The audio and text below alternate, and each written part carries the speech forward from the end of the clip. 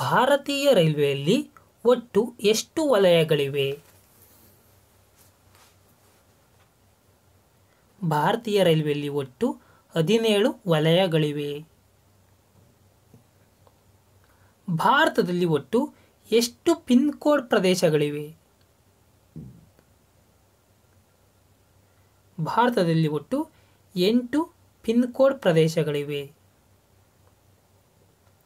ಸೂರ್ಯನ ಸುತ್ತ ಸುತ್ತುತ್ತಿರುವ ಅತಿ ದೊಡ್ಡ ಗ್ರಹ ಯಾವುದು? ಸೂರ್ಯನ ಸುತ್ತ ಸುತ್ತುತ್ತಿರುವ ಅತ್ಯಂತ ದೊಡ್ಡ ಗ್ರಹ. ಅದು ಜುಪಿಟರ್. ಜುಪಿಟರ್ ಅಂದರೆ ಗುರುಗ್ರಹ. ಭೂಮಿಯ ನೈಸರ್ಗಿಕ ಉಪಗ್ರಹ ಯಾವುದು? ಮಂಗಳ, ಚಂದ್ರ, ಶುಕ್ರ, ನೆಪ್ಚೂನ್. ಭೂಮಿಯ ನೈಸರ್ಗಿಕ ಉಪಗ್ರಹ ಚಂದ್ರ. ರುಡೇಶಿಯಾದ ನೂತನ ಹೆಸರು ಏನು? ಮೊದಲಿಗೆ ರುಡೇಶಿ ಅಂತ ಕರಿತಿದ್ರು ಇದನ್ನ ಜಿಂಬಾಂಬೆಯನ್ನು.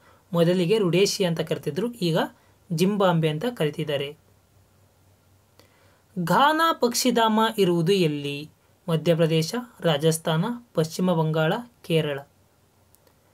ಘಾನಾ ಪಕ್ಷಿಧಾಮ ಕಂಡುಬರುವುದು ರಾಜಸ್ಥಾನದಲ್ಲಿ.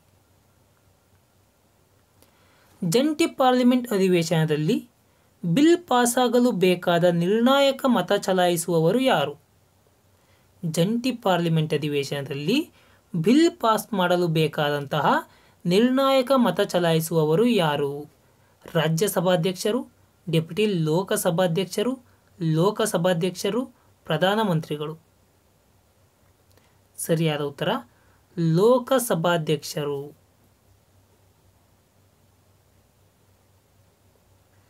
ಸಂವಿಧಾನದ ಆರ್ಟಿಕಲ್ ಹದಿನೇಳು ಏನನ್ನು ಸೂಚಿಸುತ್ತದೆ?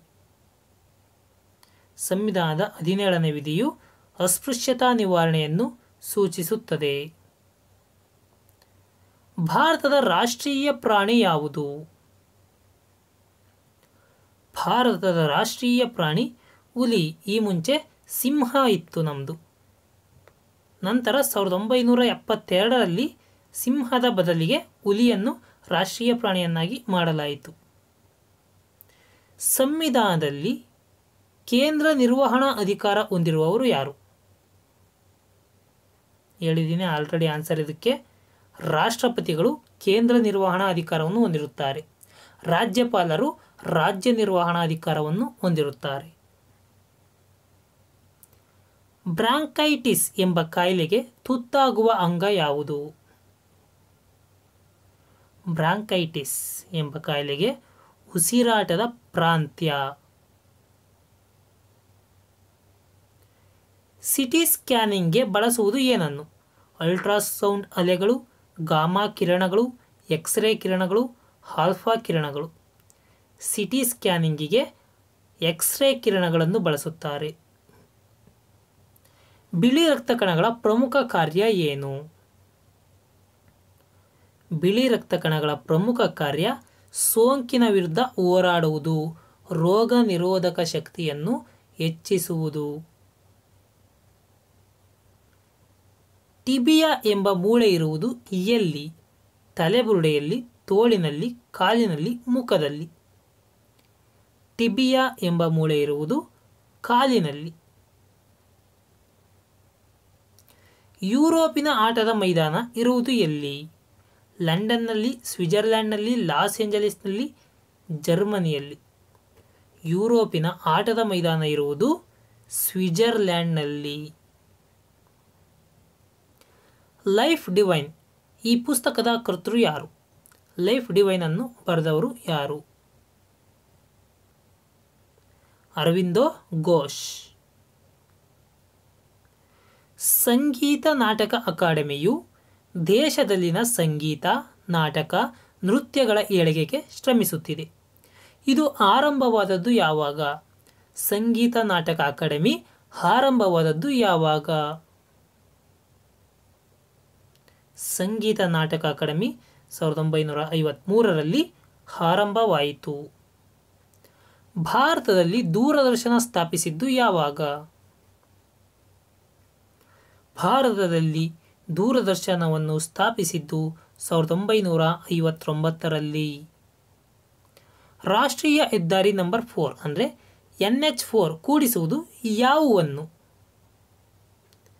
ಎನ್ ಎಚ್ ಫೋರ್ ಕೂಡಿಸುವುದು ಮುಂಬೈ ಮತ್ತು ಚೆನ್ನೈಯನ್ನು. ಕೆಳಗಿನವುಗಳಲ್ಲಿ ಯಾವ ರೈಲು ಅತಿ ಹೆಚ್ಚು ರಾಜ್ಯಗಳ ಮೂಲಕ ಹಾದು ಹೋಗುತ್ತದೆ Himsagar express, G T express, Shatabdi express Karnataka express. ಅತಿ ಹೆಚ್ಚು ರಾಜ್ಯಗಳ ಮೂಲಕ ಹಾದು ಹೋಗುವ ರೈಲು ಹಿಮಸಾಗರ್ ಎಕ್ಸ್ಪ್ರೆಸ್. ಗೀತಾಂಜಲಿ ಎಕ್ಸ್ಪ್ರೆಸ್ ಓಡಾಡುವುದು ಎಲ್ಲಿಂದ ಎಲ್ಲಿಗೆ ಗೀತಾಂಜಲಿ ಎಕ್ಸ್ಪ್ರೆಸ್ ಹೌರಾಯಿಂದ ಮುಂಬೈಗೆ ಓಡಾಡುತ್ತದೆ. ರೈಲ್ವೆ ಬ್ರಾಡ್ ಗೇಜ್ನ ಸರಾಸರಿ ವಿಸ್ತಾರ ಎಷ್ಟಿರಬೇಕು? ಎರಡು ಮೀಟರ್, ಒಂದು ಬಿಂದು ಎಂಟು ಮೂರು ಮೀಟರ್, ಒಂದು ಬಿಂದು ಆರು ಏಳು ಮೀಟರ್, ಒಂದು ಬಿಂದು ಮೂರು ಮೂರು ಮೀಟರ್. ರೈಲ್ವೆ ಬ್ರಾಡ್ ಗೇಜ್ನ ಸರಾಸರಿ ವಿಸ್ತಾರ ಒಂದು ಬಿಂದು ಆರು ಏಳು ಮೀಟರ್ ಇರಬೇಕು. ಪಂಚವಾರ್ಷಿಕ ಯೋಜನೆಯ ಕಲ್ಪನೆಯನ್ನು ಭಾರತಕ್ಕೆ ಮೊದಲಿಗೆ ಪರಿಚಯಿಸಿದವರು ಯಾರು?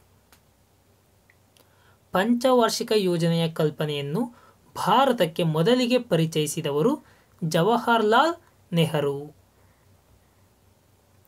ಭಾರತೀಯ ಯೋಜನಾ ಆಯೋಗದ ಮೊದಲ ಅಧ್ಯಕ್ಷರಾಗಿದ್ದವರು ಯಾರು?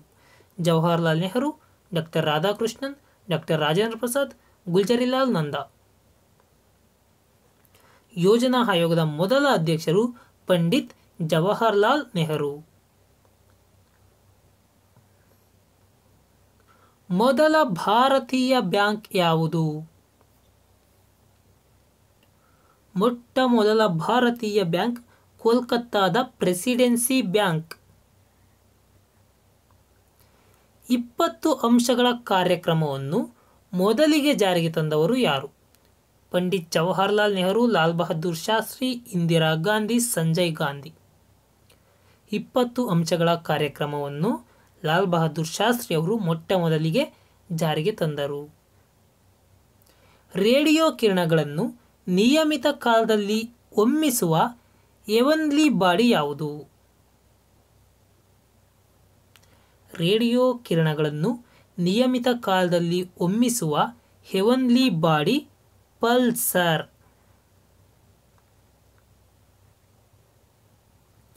ಹಗುರವಾದ ಹಾಗೂ ಭಾರವಾದ ವಸ್ತುಗಳು ಸಮಾನ ಚಲನಾಶಕ್ತಿಯನ್ನು ಹೊಂದಿರುತ್ತವೆ. ಇವುಗಳಲ್ಲಿ ಯಾವುದು ತೀವ್ರಗತಿ ಹೊಂದಿರುತ್ತದೆ? ಸರಿಯಾದ ಉತ್ತರ, ಭಾರವಾದ ವಸ್ತುಗಳು ಅತಿ ಹೆಚ್ಚು ತೀವ್ರಗತಿಯನ್ನು ಹೊಂದಿರುತ್ತವೆ. ಹಗುರವಾದ ಹಾಗೂ ಭಾರವಾದ ವಸ್ತುಗಳು ಸಮಾನ ಚಲನಶಕ್ತಿಯನ್ನು ಹೊಂದಿರುತ್ತವೆ. ಅಂತಹ ಸಮಯದಲ್ಲಿ ಭಾರವಾದ ವಸ್ತುಗಳು ಅತಿ ಹೆಚ್ಚು ತೀವ್ರಗತಿಯನ್ನು ಹೊಂದಿರುತ್ತವೆ. ಗಾಳಿಯಲ್ಲಿನ ಶಬ್ದದ ವೇಗದ ಅಂದಾಜು ಪ್ರಮಾಣ ಎಷ್ಟು? ಮೂರು ಮೀಟರ್ ಪರ್ ಸೆಕೆಂಡ್, ಮೂವತ್ತು ಮೀಟರ್ ಪರ್ ಸೆಕೆಂಡ್, ಮುನ್ನೂರ ಮೂವತ್ತು ಮೀಟರ್ ಪರ್ ಸೆಕೆಂಡ್ ಮೂರು ಸಾವಿರ ಮೀಟರ್ ಪರ್ ಸೆಕೆಂಡ್. ಗಾಳಿಯಲ್ಲಿ ಶಬ್ದದ ವೇಗದ ಅಂದಾಜು ಪ್ರಮಾಣ ಮುನ್ನೂರ ಮೂವತ್ತು ಮೀಟರ್ ಪರ್ ಸೆಕೆಂಡ್. ಕೆಳಗಿನವುಗಳಲ್ಲಿ ಯಾವುದು ಪ್ರಾಥಮಿಕ ಬಣ್ಣವಲ್ಲ? ನಿಮಗೆ ಗೊತ್ತಿದೆ, ಮೂರು ಪ್ರಾಥಮಿಕ ಬಣ್ಣಗಳಿವೆ.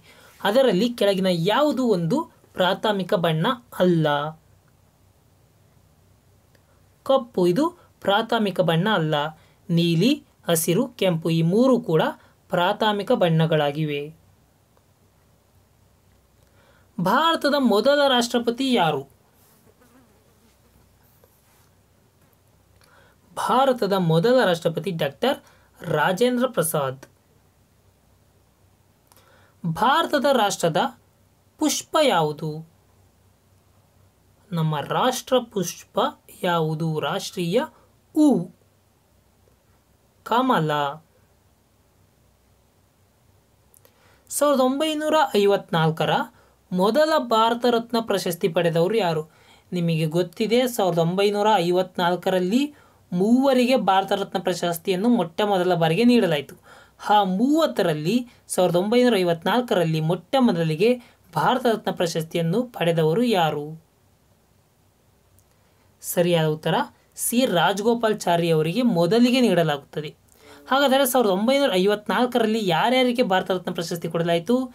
C. Rajagopalachari, Radhakrishnan, C. V. Raman ಈ ಮೂವರಿಗೂ ಕೂಡ ಕೊಡಲಾಯಿತು. ಸಾಲಾರ್ಜಂಗ್ ವಸ್ತು ಸಂಗ್ರಹಾಲಯ ಇರುವ ಸ್ಥಳ ಯಾವುದು? ಸಾಲಾರ್ಜಂಗ್ ವಸ್ತು ಸಂಗ್ರಹಾಲಯ ಇರುವುದು ಹೈದರಾಬಾದ್ನಲ್ಲಿ. ಕರ್ನಾಟಕದ ಆದಿಕವಿ ಎಂದು ಯಾರನ್ನು ಕರೆಯುತ್ತಾರೆ? ಪಂಪ ಕಾಳಿದಾಸ ಚೈತನ್ಯ ಮಹಾಪ್ರಭು ಸೂರ್ದಾಸ್. ಕರ್ನಾಟಕದ ಆದಿಕವಿ ಎಂದು ಪಂಪನನ್ನು ಕರೆಯುತ್ತಾರೆ. ಅಶೋಕನ ಪ್ರಕಾರ ದಮ್ಮ ಎಂದರೆ ಏನು? ಹಿರಿಯರಿಗೆ ಗೌರವ ಸೂಚಿಸುವುದು? ಎಲ್ಲ ಧರ್ಮ ಮತ್ತು ಸಂಪ್ರದಾಯಗಳಿಗೆ ಗೌರವ ಸೂಚಿಸುವುದು? ಗುಲಾಮರಿಗೆ ಮತ್ತು ನೌಕರರಿಗೆ ದಯೆಯನ್ನು ತೋರುವುದು? ಈ ಮೇಲಿನ ಎಲ್ಲವು. ಅಶೋಕನ ಪ್ರಕಾರ ದಮ್ಮ ಎಂದರೆ ಈ ಮೇಲಿನ ಎಲ್ಲವೂ ಹಿರಿಯರಿಗೆ ಗೌರವವನ್ನು ಸೂಚಿಸಬೇಕು. ಎಲ್ಲ ಧರ್ಮ ಮತ್ತು ಸಂಪ್ರದಾಯಗಳಿಗೂ ಕೂಡ ಗೌರವವನ್ನು ಸೂಚಿಸಬೇಕು. ಗುಲಾಮ ಮತ್ತು ನೌಕರರಿಗೂ ಕೂಡ ದಯೆಯನ್ನು ತೋರಬೇಕು. ಕಾಯಂ ಜಮೀನ್ದಾರಿ ಪದ್ಧತಿಯನ್ನು ಜಾರಿಗೆ ತಂದವರು ಯಾರು? Lord Cornwallis. ಹಣಕಾಸಿನ ಮಸೂದೆಯನ್ನು ಲೋಕಸಭೆಯಲ್ಲಿ ಯಾರು ತೀರ್ಮಾನಿಸುತ್ತಾರೆ? ಪ್ರಧಾನಮಂತ್ರಿ, ಭಾರತದ ರಾಷ್ಟ್ರಪತಿ, ಲೋಕಸಭಾ ಸ್ಪೀಕರ್, ಭಾರತದ ಹಣಕಾಸು ಸಚಿವರು. ಲೋಕಸಭಾ ಸ್ಪೀಕರ್. ಈ ಕೆಳಗಿನ ಯಾವ ರಾಜ್ಯವು ತನ್ನ ಎರಡನೆಯ ರಾಜಧಾನಿಯಾಗಿ ಧರ್ಮಶಾಲಾವನ್ನು ಆಯ್ಕೆ ಮಾಡಿಕೊಂಡಿದೆ? ಹರಿಯಾಣ, ಉತ್ತರಾಖಂಡ, ಹಿಮಾಚಲ ಪ್ರದೇಶ, ಮೇಘಾಲಯ. ಹಿಮಾಚಲ ಪ್ರದೇಶವು ತನ್ನ ಎರಡನೇ ರಾಜಧಾನಿಯನ್ನಾಗಿ ಧರ್ಮಶಾಲವನ್ನು ಆಯ್ಕೆ ಮಾಡಿಕೊಂಡಿದೆ. ಹಾಗಾದರೆ ಹಿಮಾಚಲ ಪ್ರದೇಶದ ಮೊದಲನೇ ರಾಜಧಾನಿ ಯಾವುದೆಂದು ಕಮೆಂಟ್ ಬಾಕ್ಸ್ನಲ್ಲಿ ತಿಳಿಸಿರಿ.